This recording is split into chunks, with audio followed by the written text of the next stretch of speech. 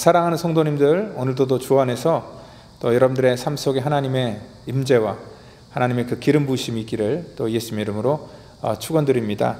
어, 인생을 살다 보면은요, 우리가 참 이해하기 어려운 어, 그러한 일들을 우리가 종종 만나게 됩니다.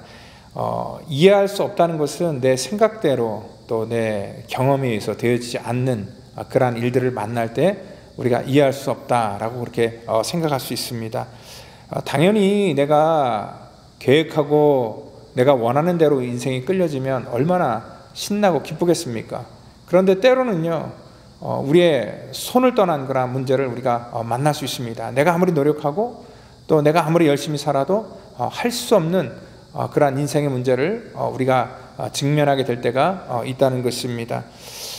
이번 코로나 사태도 역시 우리 손을 떠난 우리 인생의 문제를 어, 우리는 다 만나고 있습니다. 어, 그럴 때마다 우리가 배워야 될 것은 어, 이러한 상황 속에서 늘 겸손함을 배워야 될 것입니다. 이것은 사실 돈으로 해결될 수도 없는 것이고요. 또 그리고 사람의 능력이나 어떠한 권세를 가지고도 해결할 수 없는 것이 바로 이러한 문제이기 때문에 그렇습니다. 때로는 우리의 이러한 인생 속에서 하나님께서는 어려운 문제를 만나게 함으로 우리를 겸손케 하시고 그래서 인간의 한계를 늘 깨닫게 하신다는 것입니다. 오늘 이 말씀을 통하여서 또한 우리는 또 다른 겸손함을 어, 배워나가기를 다시 한번 예수님의 이름으로 어, 축원드립니다.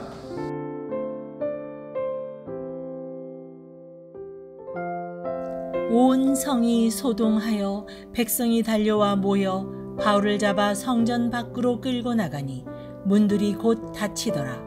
그들이 그를 죽이려 할 때에 온 예루살렘이 요란하다는 소문이 군대의 천부장에게 들리매 그가 급히 군인들과 백부장들을 거느리고 달려 내려가니 그들이 천부장과 군인들을 보고 바울 치기를 그치는지라. 이에 천부장이 가까이 가서 바울을 잡아 두 쇠사슬로 결박하라 명하고 그가 누구이며 그가 무슨 일을 하였느냐 물으니 무리 가운데서 어떤 이는 이런 말로 어떤 이는 저런 말로 소리치거늘 천부장이 소동으로 말미암아 진상을 알 수 없어 그를 영내로 데려가라 명하니라 바울이 층대에 이를 때에 무리의 폭행으로 말미암아 군사들에게 들려가니 이는 백성의 무리가 그를 없이 하자고 외치며 따라가미러라. 예, 우리가 이해할 수 없는 인생의 문제를 만날 때마다 우리는 깨달아야 될 어, 그러한 일들이 있습니다. 어, 바울은 지금 억울하게 누명을 뒤집어 쓰고 감옥에 들어왔습니다. 이 모든 것들이 전부 모함 때문에 그렇습니다. 예, 그리고 또한 그는 자기 동족으로부터 어, 심한 그러한 이 모욕감도 들었어야 됐고 또한 정말 이 매질까지 당해야 되는 어, 그러한 아픔을 지금 경험하고 있습니다. 어, 이러한 문제를 만날 때 왜 하나님께서 정말 성실하게 또 믿음의 길을 걸어가고 있는 바울에게 이러한 역경을 허락하셨을까요? 우리가 여기 핵심 포인트는 뭐냐면 만약에 바울이 이러한 상황 속에서 감옥에 갇히지 않았다면 어떠한 일이 어, 생겼을까요? 아마 저는 개인적으로 생각할 때 바울에게 하나님께서 이렇게 감옥 안에 집어 넣으신 것은 하나님의 그 섭리와 계획 속에서 어, 되어진 일이다라고 이렇게 어, 생각되어집니다. 왜냐면은요, 이 바울에 대한 적개심을 품고 바울을 죽이기 전까지는 정말 먹지도 마시지도 않겠다 하는 그러한 사람들이 이 바깥에 암살을 하기 위해서 기다리는 사람들이 40명 이상이 있었다는 것을 우리가 알 때에 이 바울이 만약에 감옥 안에 있지 않았다면은 그들에게 암살될 수도 있는 어, 상황이었지만 오늘 바울이 오히려 감옥 안에 들어옴으로 말미암아 그 감옥 안에서 바울의 생명이 어, 보호를 받게 되는 것을 어, 알수 있다는 것입니다. 또한 이 바울은요 이 감옥 안에 있으면서 그는 수많은 그러한 사람들을 그 안에서 만나게 되는데 심지어는 어, 보편적인 그러한 상황 속에서 만나기 어려웠던 어, 그 시대의 그 통치자들을 어, 그는 만나게 되고 또 그들에게 신문하는 과정 속에서 어, 자기가 만났던 예수님에 대해서 어, 간증할 수 있는 어, 그러한 기회도 갖게 된다는 것입니다. 또한 이 감옥 안에서요, 그는 이 감옥 안에 수감 생활이 길어지면서 그는 이 우리가 흔히 말하는 옥중서신이라 그러죠. 우리 에베소서나 빌립보서, 골로새서 같은 그러한 이 서신을 쓰기 시작하고요. 그리고 또한 이 지금 당장 억울하고 답답하지만 이 모든 일이 바울이 예기치 못한 그러한 상황으로 어, 흘러가는 것을 알 수 있다는 것입니다. 그래서 우리 지난주 얘기했던 것처럼 자기가 이렇게 갇히고 또 이러한 억울한 모든 일들이 복음의 진보가 되었다라고 그렇게 고백할 수 있었다는 것입니다. 여러분 성경에 보면은요 바울뿐만 아니라 요셉이라는 사람 등장하지요. 요셉 역시도 억울하게 누명을 쓰고 감옥 안에 갇히게 됩니다. 그는 남들보다 정말 더 열심히 살았던 사람입니다. 또 도덕적으로도 정말 순결하게 살고자 어, 노력했던 그러한 어, 사람입니다. 자기의 그 주인이었던 이러한 보디발의 명령에 순종했고 그리고 그는 정말 하나님을 두려워했던 어, 그러한 이 사람이었습니다. 그럼에도 불구하고 오늘 보디발의 그러한 아내의 유혹이 너무나 집요하고요.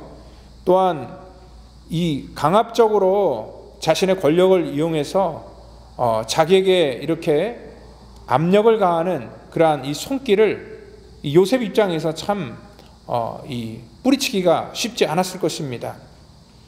거절에도 계속해서 집요하게 공격할 때 또 이 요셉 역시도 어느 순간에 흔들릴 수 있는 것이 바로 인간이기 때문에 특별히 이 요셉이 청년의 나이 때 한 번 그렇게 넘어질 수도 있었지만 하나님께서는 그러한 어, 요셉의 연약함을 아셨기 때문에 하나님은 오히려 그를 감옥 안에 집어넣으심으로 말미암아 인간적으로 볼 때는 참 답답하고 억울한 일이 될 수 있었지만 하나님께서는 요셉을 어, 하나님의 주권과 섭리 속에서 어, 보호하셨던 것 같습니다. 여러분들 그 우리 감옥 안에서 또 한 가지 요셉이 귀한 경험을 할 수 있었던 건 뭐냐면 그것이 일반 감옥이 아니라 궁중 감옥이었기 때문에 거기에서 많은 그러한 이 신료들을 만날 수 있었고요. 또한 그가 전혀 알지 못했던 그런 애굽의 그런 문화나 또한 역사나 또한 애굽의 그런 왕실에서 일어나는 그런 모든 일들에 대해서 아, 간접적으로 듣고 배울 수 있는 그러한 귀한 기회가 될 수도 있었다는 것입니다.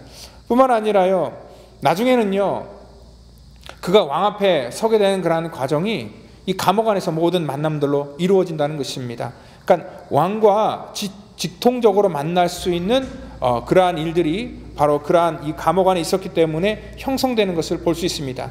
만약에 요셉이 감옥 안에 갇히지 않았다면은 뭐 보디발의 가정 속에서 보디발의 인정함을 받으면서 어느 정도 어, 평안하게 그냥 먹고 살 수 있었을지는 모르겠지만 오늘 하나님의 섭리와 역사 속에서 그 민족을 이루는 그러한 이 뿌리로서 그 역할을 감당할 수는 없었다는 것입니다. 오늘 하나님의 섭리가 있었기 때문에 자기가 계획하지 않았지만 하나님께서 그러한 일들을 이루셨다는 것을 우리가 알 수 있습니다. 하나님께서는 그의 인생을 끌고 가시기 원하시기 때문에 그러한 인생 속에 예기치 않는 그러한 일들을 만나게 하셨습니다. 오늘 우리도 하나님의 신실한 종들에게 문제가 생길 때마다 특별히 이러한 이 팬데믹 상황 속에서 우리가 힘들고 어려울 때마다 우리가 깨달아야 될 건 뭐냐면 하나님의 신실한 종들 또 하나님의 신실한 교회는 하나님께서 이러한 기회를 통하여서 정말 하나님께서 저들의 지경을 넓히시고 또한 생각의 틀을 하나님께서 넓혀주시고 하나님께서 놀라운 일들을 우리 가운데 베풀어 주신다는 것을 어, 여러분들 분명히 어, 믿으시기를 바랍니다. 오늘 바울도 이러한 상황 속에서 어, 그가 그러한 상황 속에서 푸념하거나 단념하는 것이 아니라 끊임없이 감옥 안에 갇혀 있음에도 불구하고 그는 거기서도 하나님의 복음을 전했고 하나님의 복음을 쓸 수 있는 그러한 믿음의 역할을 감당할 수 있었다는 것입니다.